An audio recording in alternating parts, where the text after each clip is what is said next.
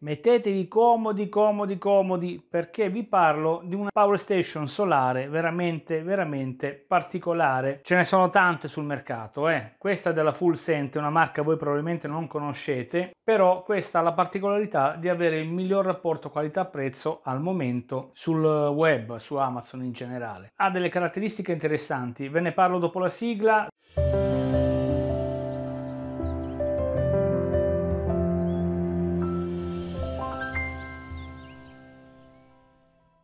Allora, rieccoci sul canale. Full Scent è un'azienda cinese, voi non la conoscete, e mi è stata offerta l'occasione di provare questa Power Station. Allora, io è un pezzo che ci stavo dietro, è un, un oggettino del genere. Sono esplosi queste Power Station negli ultimi 2-3 anni, complici anche un po' i costi esorbitanti dell'energia elettrica. Non che queste costino poco, eh, devo essere sincero. Però ci sono alcune caratteristiche che anche questa ha, e ve ne parlo tra un po', che permettono di ammortizzarla veramente in pochissimi anni. Allora, brevemente di cosa stiamo parlando? Magari voi non le conoscete. Questo è un accumulatore di corrente, all'interno c'è una batteria, una batteria capiente al ioni di litio, l'IFEPO 4 dell'ultima generazione di batterie, da ben 1200 watt o se vogliamo essere più precisi 1248 watt quindi questa in un'ora riesce a darci circa 1200 watt. Pesa 14 kg, non è un peso piuma ma sono tutte così sheep nel senso che il peso è dovuto dalla batteria ed è una delle più leggere, tra l'altro. Come vi dicevo, la batteria è quella che va per la maggiore in questo tipo di prodotti. È una batteria lunghissima durata. Vi dico solo che una batteria così, a litio ferro fosfato di FePO 4, ha una capacità di circa 3000-3500 cicli di ricarica. Ora, se per assurdo noi la ricarichiamo una volta al giorno, noi abbiamo circa 10 anni di autonomia, dopodiché scende eh, intorno all'80% ma continua a funzionare. Quindi invece che 1200 watt ne avremo 1000 900, 950, quello che è. Questa è la grande capacità di questo tipo di batterie. Tutte le power station di qualità che trovate in giro hanno questo tipo di batterie all'interno. Poi ci sono quelle più piccole, quelle più grandi, quelle che si possono agganciare una all'altra per fare un tower di 3-4 kW, cosa che questo non ha, però questa ha la possibilità di erogare, come dicevo, circa 1200 watt in un'ora. Vediamo brevemente le entrate e le uscite, dopodiché vi parlo di come è possibile utilizzarla a costo zero. Anzi, ve lo anticipo subito. Insieme a questa vengono forniti dei pannelli solari, 200 watt di pannelli solari, portatili, si aprono e si dispongono lì dove si ha il sole in, quel preciso istante e in quel modo lì abbiamo caricato la nostra power station a costo zero. Ora invece io la sto caricando con la corrente di casa in questo caso occorrono soltanto due ore per caricarla perché vi faccio vedere sto fornendo alla batteria 700 watt è il massimo di potenza di ricarica disponibile e la si ottiene soltanto con la corrente di casa ora dal momento che ho la fortuna di avere i pannelli solari siamo in pieno giorno di fatto la sto caricando gratuitamente e questo è un altro di quei grandi vantaggi se uno ha un impianto solare un impianto fotovoltaico altrimenti si utilizzano i suoi pannelli solari ovviamente se c'è il sole. Eh? Allora, brevemente vediamo un po' le uscite disponibili in questa parte frontale. Tasto di accensione, luce LED molto forte, può essere anche utilizzata come SOS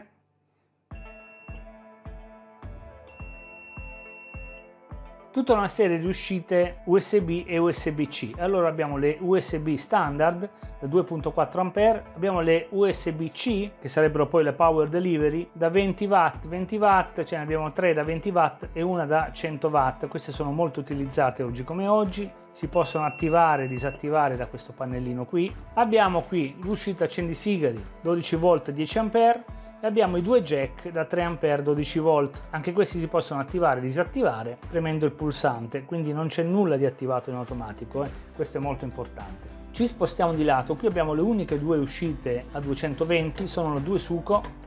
La potenza massima se si utilizzano insieme contemporaneamente di 1200 watt quindi 600 watt l'una, se ne utilizza una sola ovviamente abbiamo 1200 watt di uscita. Corrente alternata, 50 Hz, da qui l'attiviamo. Qui abbiamo due ventole di immissione e ricircolo dell'aria per il raffreddamento interno della batteria. Questo è molto importante perché la batteria tutte le LiFoPo 4 hanno un range molto stretto di funzionamento, lavorano fino a circa 40 gradi, quindi il raffreddamento interno che è estremamente silenzioso, vi dico la verità, è più eh, rumoroso il climatizzatore che ho in questo momento in questa stanza che le ventole non si sentono per nulla. Quindi loro provvedono a mantenere la temperatura corretta internamente. In questa stanza in questo momento ho circa 25-26 gradi, è abbastanza caldo e loro stanno cominciando a lavorare insomma a velocità variabile. Qui abbiamo tutta la serie di caratteristiche tecniche e certificazioni. Attenzione quando acquistate una apparecchiatura elettrica, soprattutto se ha delle batterie, funziona 220 e quant'altro, assicuratevi sempre che ci sia il marchio CE. Questo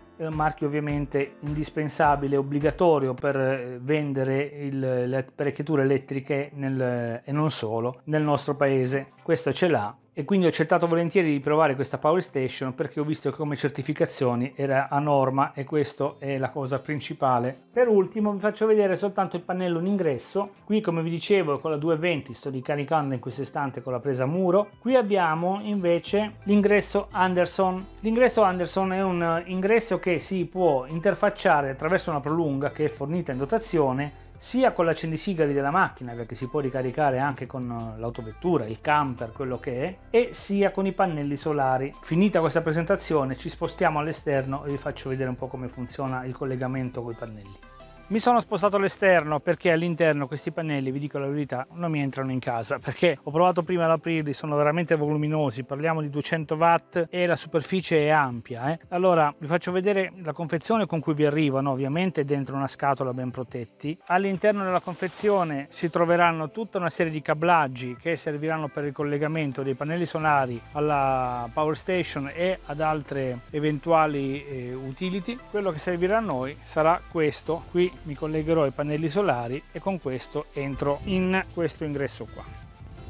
Vediamo tutto tra un minuto. Una volta che abbiamo visto i pannelli solari, vediamo di utilizzarlo al limite, come piace a me, fino a che non arriviamo al blocco del sistema. Io un po' ci ho giocato già e vi posso dire qualcosa già strada facendo. Comunque, prima vediamo i pannelli solari. Il montaggio è di una semplicità veramente impressionante. Dietro, dopo ve lo farò vedere, ci sono dei fermi che si possono aprire, sono elasticizzati e si può trovare quindi la posizione, l'inclinazione migliore per prendere tutti i raggi del sole. Adesso sono le 17 circa da me, in questa posizione non ho più tantissimo sole, però ora vi faccio vedere la quantità di energia che riesco a ricavare dai pannelli solari. Mi avvicino un attimino al display. Allora, il cavetto è lungo circa un metro e mezzo, non è tantissimo, eh? però è più che sufficiente insomma per posizionarsi poi nel modo migliore. Si può ovviamente utilizzare mentre si carica. Eh? Allora, mi avvicino con la telecamera, vi faccio vedere il display alla luce del sole non si vede chiarissimo mi metto un po' all'ombra sta caricando ero al 98% sta continuando a caricare. In questo istante io riesco a fornire con pannelli solari 136 watt 138 watt insomma su un massimo teorico di 200 watt. Questi sono i minuti rimanenti per terminare la carica. Va da sé che i minuti vanno su e giù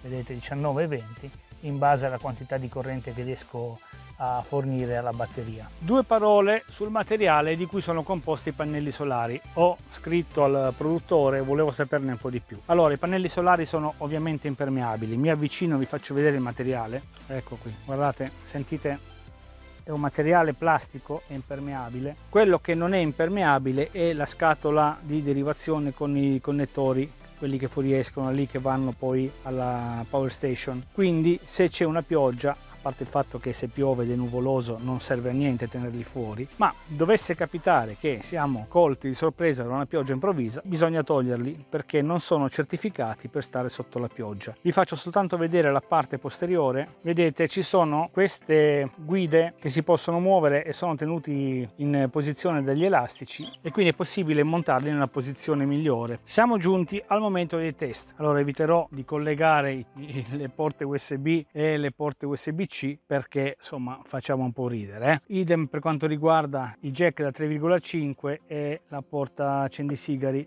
non, non mi interessano questi, nel senso che la batteria da 1200 watt è molto molto molto più capiente di quello che possono consumare questi utilizzatori. Quindi per assurdo a spanne se questo è carico al 100% inserisco una power delivery da 100 watt io posso alimentare quell'utensile che ho collegato posso caricarlo per 12 ore. Cioè rendetevi conto che è veramente tanta tanta roba. Quindi a scendere il 20 watt impiego qualche giorno per scaricare tutta la batteria quindi non ha senso da questo punto di vista a me interessava vedere come si comportava con gli utensili che normalmente possiamo avere o nel camper o in casa o in campagna. Io abito in campagna, una delle cose che utilizzo di più è ovviamente il trapano. Ciò non toglie che questa power station, come tutte le power station che trovate sul mercato, quelle a batteria, sono particolarmente indicate per chi fa una vita all'aria aperta, ovvero per il camper, per il campeggio e naturalmente per la vita in casa. Ora io non ho camper ancora, non faccio campeggio ancora, però vivo in campagna. Quindi l'utilizzo che farò di questa power station sarà quello prevalentemente di UPS per quanto riguarda pompe della caldaia e di tutti i sistemi di ricircolo, ovviamente accensione della caldaia, perché se avevate visto il mio video sull'UPS che avevo provato, il Vultec ovviamente non era in grado di alimentarlo in fase di accensione, questo è una sciocchezza. E soprattutto questo mi garantisce più accensioni durante l'arco della giornata anche se sono senza corrente e ovviamente ho tutto il riscaldamento, quindi pompe, elettrocamino e caldaia che si baseranno e si affideranno a questa power power station qui. Ciò non toglie che io spesso faccio lavori in eh, giardino, nell'orto, in campagna, saldo, faccio trapano o una saldatrice a inverter, questa mi può veramente venire utile. Allora partiamo da un trapano, un trapano del genere sono circa 900 watt. Ora 900 watt è quando sottocarico. Se io lo accendo adesso e non sto lavorando, ovvero non uso una punta su una muro, su un legno, su ferro, lui consuma circa 300-350 watt. Ve lo dico perché l'ho provato e ho provato anche con un wattmetro prima di fare questo test qua. Quindi so esattamente quello che consuma questo trapano a vuoto. Quindi lo proviamo e cominciamo a scaldare i motori. Vi ricordo che questo full scent ha due uscite suco, se ne utilizziamo una sola abbiamo 1200 watt, l'altra però ovviamente non la possiamo utilizzare perché stiamo utilizzando tutta la potenza su questo, ma dal momento che a me piace portarli al limite vi farò vedere cosa succede quando aumentiamo a dismisura la potenza in uscita e superiamo i 1200 watt, vi faccio vedere cosa succede. Nel frattempo proviamo questo trapano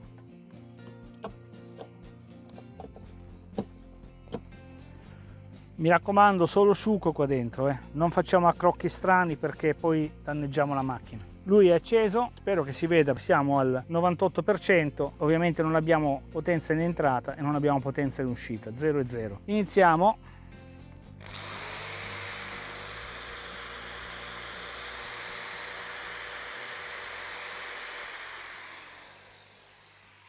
picco da 450 watt stabilizzato a 270 e lì si è fermato. Tolgo il trapano. Ecco qui abbiamo la prova del 9 ora su questo devo fare una premessa perché come vi dicevo ho provato già prima. Lui lavora da 1800 a 2200 watt. Ovviamente questo come vi dicevo ha un'uscita da 1200 watt. Ci mancano 600 watt per la potenza richiesta di questo asciugacapelli. Cosa succede? Se io lo collego alla presa di corrente col wattmetro lui richiede 1800 watt 1750 è quello che richiede. Se io lo collego qui lui mi eroga al massimo 1200 watt quindi l'asciugacapelli funziona esattamente come dalla presa di corrente. Gli mancano però 600 watt quindi ho meno temperatura in uscita le resistenze scaldano meno però lui funziona, non si blocca e questa è una grande cosa. Eh? Se abbiamo utensili che possono lavorare a una potenza leggermente inferiore a quella di targa, questo li alimenta tranquillamente. Allora, solo aria fredda, due velocità, 370 watt, una velocità di aria calda, balziamo a 1125 watt, diamo il massimo si abbassa la velocità della ventola perché lui più di 1200 watt non mi eroga però ho la velocità massima sia di aria che di aria calda. Ovviamente l'aria calda arriva funziona perfettamente solo che rende un po' meno rispetto alla presa di corrente normale 1200 watt lui si è stabilizzato lì. Ora siamo al 97% spengo se no non vi faccio sentire.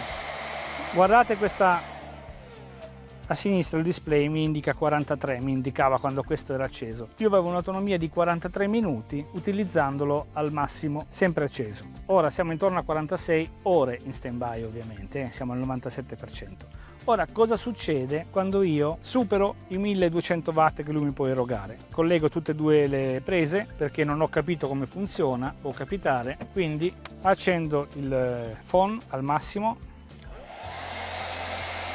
1200 watt istantanei, attacco il trapano,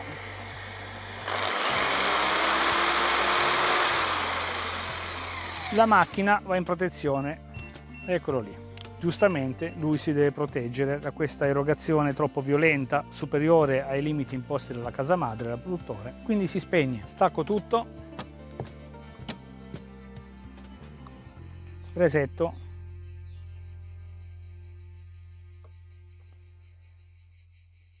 riaccendo partono le ventole interne perché è lavorato ma vi assicuro che è inudibile non si sente nulla. Ricollego il phone.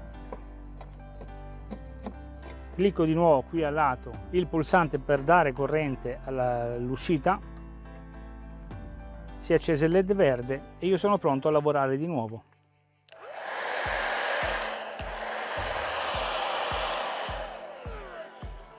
ha una elettronica di gestione molto puntuale, molto precisa, molto conservativa, non fa cose strane, è una buona macchina perché quello che vi promette è quello che vi dà, né più e né meno. Allora siamo giunti alle conclusioni. Esistono due versioni di questa Power Station. La Power Station è identica ovviamente, 1200 Wh, 1248 in realtà Wh. Quello che cambia nell'offerta del produttore è il pannello solare, questo 200 Watt, c'è anche quello da 100 Watt. Differenza è consistente in termini di prezzo, eh? 929 euro con il pannello da 200 watt, 819 euro con il pannello da 100 watt. Ora, se voi lo usate in campeggio, sul camper e quant'altro, ovviamente il 200 watt come pannelli solari è la soluzione migliore. Eh? In 6 ore circa caricate la Power Station, ora dipende più o meno dipende dal sole ovviamente. Però 6-7 ore voi avete una riserva di energia da 1200 watt che veramente non è, non è poco eh? assolutamente non è poco. A questo prezzo perché trovate qualcosa in meno come costo sulla power station ma non avete il pannello solare questo kit eh, io ho visto ho fatto una piccola ricerca di mercato è quello che costa meno. E adesso avete visto anche come funziona e cosa vi può dare. Se invece siete come me che lo utilizzate prevalentemente a casa io lo caricherò il giorno nella presa di corrente perché utilizzo i miei pannelli solari. Ecco spendete meno possibile con 819 euro ve lo portate a casa col pannello da 100 watt e siete a posto. È una spesa importante mi rendo conto sono soldi sono parecchi parecchi soldi, non si ammortizza in un anno, neanche in due, però nel giro di 3, 4, 5 anni comincia a diventare interessante, soprattutto perché, come vi dicevo, ha talmente tanti cicli di carica, questo tipo di batteria, la litio ferrofosfato, l'IFEPO 4, che ci lavorate una decina d'anni tranquillamente al netto di eventuali guasti, elettronica e quant'altro sono imprevedibili. In dieci anni si ammortizza forse due volte, soprattutto se lo utilizzate in modo costante come lo utilizzerò io. E in campagna una cosa del genere è veramente importante da avere. Per carità, col generatore a benzina si fa uguale, eh, però non ha queste funzionalità. Quello è per l'emergenza, questo è per tutti i giorni. E questa è la differenza veramente importante su un utensile del genere. In Italia sono arrivate da un annetto, due circa, ancora non siamo abituati ad avere una power station di questo genere. Noi siamo rimasti ancora ai generatori a benzina e a gasolio per le emergenze e vabbè, però all'estero vi assicuro che questi fanno veramente la differenza e vanno per la maggiore, si stanno affacciando anche in Italia e questa azienda qui, la Full Scent, si è affacciata in questo istante, in questi mesi insomma sul nostro mercato, lavora già all'estero e quindi se vi può interessare dateci un occhio e valutate voi poi se fa il caso vostro o meno. Io ringrazio Full Scent, me l'ha inviata in test, mi ha fatto molto piacere questa collaborazione. Ho imparato anch'io cose nuove perché è la mia prima Power Station, anche se ho visto tanto, ho letto tanto perché ero intenzionato a comprarne una appunto per la mia caldaia che facesse da OPS e insomma è cascata a fagiolo. Ho imparato molto su questa tipologia di utensili. Quindi spero di avervi aperto un mondo come mi si è aperto a me quando mi è arrivata insomma. Lasciate un like, iscrivetevi al canale, condividete con i vostri amici. Vi auguro una buona giornata, ci vediamo la settimana prossima.